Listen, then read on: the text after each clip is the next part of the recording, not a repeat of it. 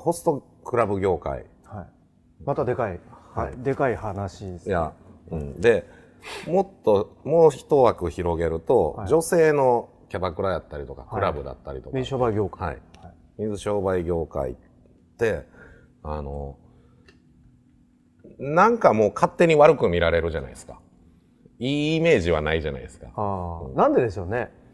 おうん。おもろいですよね、うん、はなんなんでしょうね、はい。その騙すだどうだっていうところがついてきてるとは思うんですけど、うん。じゃあ世の中に必要じゃないかっていうところをはい。真剣に考えたいし、い、はい、考える人もっといっぱいで喋ってみたいなとか思うんですよね。あうん。ーおっかないですけどやってみたいですね、でもし必要でないとするならば、はい。僕はもう今なくなってると思うんですよ。そうですよね、大昔からありますからね、で必要とする人がいるからこそずっとある業態で、はい。でさらにうーんとその必要とする人に対してそそのなんていうんですかね心の隙間はい。に入り込んでお金を搾取しようという考えのものはいると思うんですよ。はいそこが、うーん、なんか今の世間のイメージのほとんどになっちゃってるかなと。で、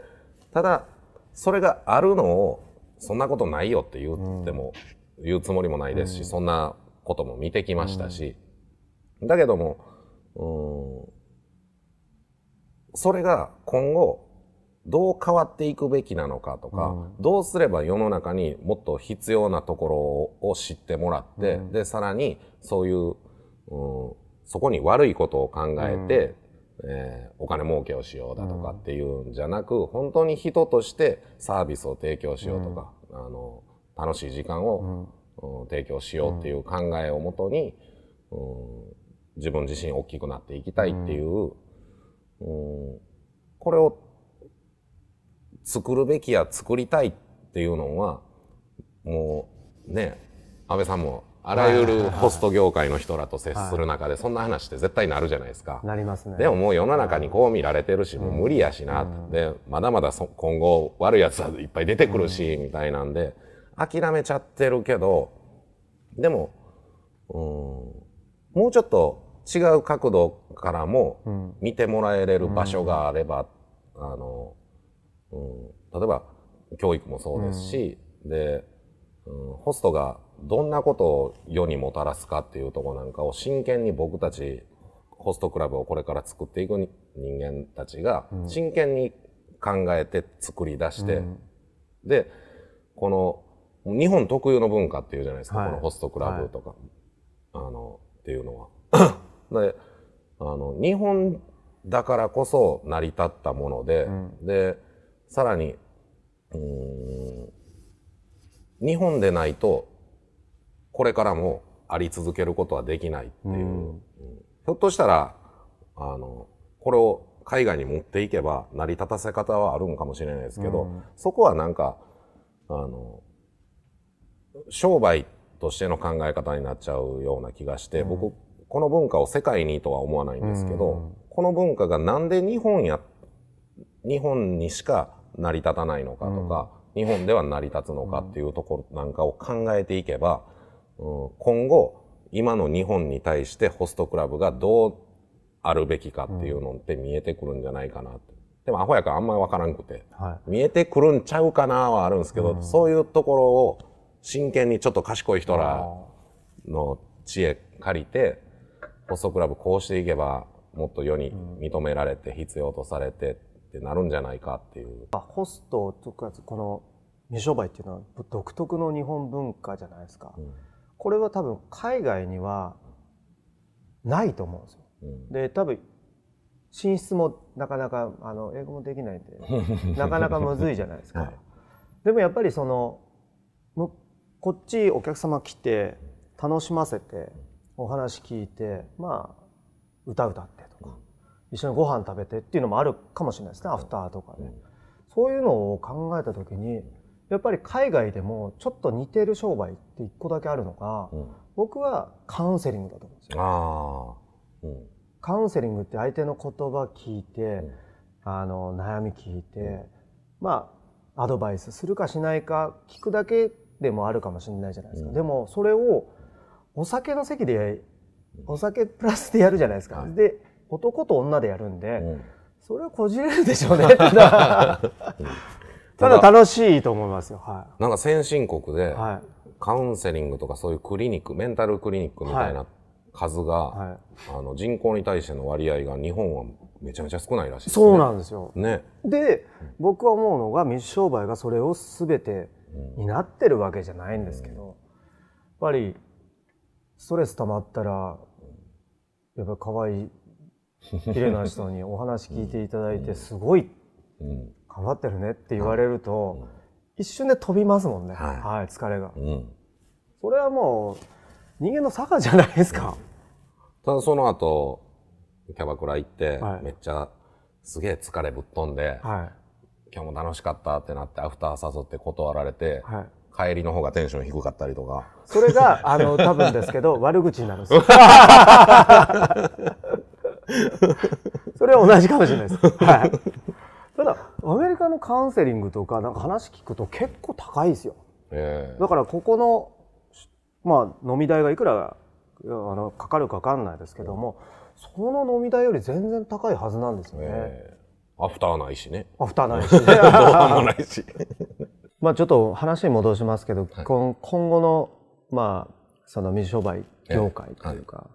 まあもう少し言えばホスト業界っていうのはどういうふうに変わっていくとかってありますか？高橋さんの中で。うーんとまずはやっぱりこう世の中に認められるっていうことも必要やし、であの認められるためにじゃあどうあるべきかって変えていくべきところも必要やし、でやっぱり働いてる子たちがもっと俺たちは素晴らしい仕事をしてるんだっていう自覚を持ってほしいんですよね。でそしたらもっともっとお客さんに対しての自分の在り方も変わっていくでしょうし、あの自分自身を売るとはいえそのやり方も変わっていくんじゃないかと。だから同時に進めていかないといけないと思うんですよ。こう社会に必要とされるような、うん、あり方を作っていくっていうところと、で今、えー働いてる子たちが自信を持って、俺たちは、うん、こういう人を楽しませる喜ばせる、うん存在価値を見出すだとかっていうところで必要な存在なんだって自信持って仕事をしてほしいというか、今まだやっぱり親に言えないとか、うん。いますよね。はい。はい。親親御さんもご近所さんにうちの息子ホストでなんて言えないっていうのが、うん今までのホストクラブホスト業界を考えたらそれはしょうがない事実かなと。うんあのでもホストクラブでホストたちがこんな風に、うん、世の中に役立ってるんだと。うん。じゃあ役立つ素晴らしい仕事をしてるんだうちの息子はって親が思ってもらえれるような、うん。うん個人を作っていきたいですし、でその個人の集まりであるこのホスト業界っていうのがもっともっと世の中に認知されて、うん。うん認知のされ方を変えていきたいというか、そうですよね。うん一番難しいと思うんですよね。そこも二十何年間戦いましたけども、グレーゾーンから出なかったですもんね。うんはいやもう実際その僕がどんなに綺麗事みたいなのを言ってたって あの実際トラブルや問題は起きてしまうんで、その都度やっぱり、うんもっと業界こうしていきたい、うちのグループでは教育をこうしていきたいって言ってやっててももううちも今200人ぐらいの組織になって、い。はい。うんみんながみんなそれを理解してってもらえてるかって言ったら、まだまだ難しい現実もあって、でもだからってもうしょうがないことやとは言いたくないですし、うんで今実際あの安倍さんだったりだとか、まあ、他のグループの人とかでも、やっぱりホストの見られ方って変えたいよねとか、で教育もっとしっかりしてあのホストっていう子たちが本当にいい男になっていくっていう業界にしていきたいよねっていう声はあるんでね、うん。じゃあなんか道は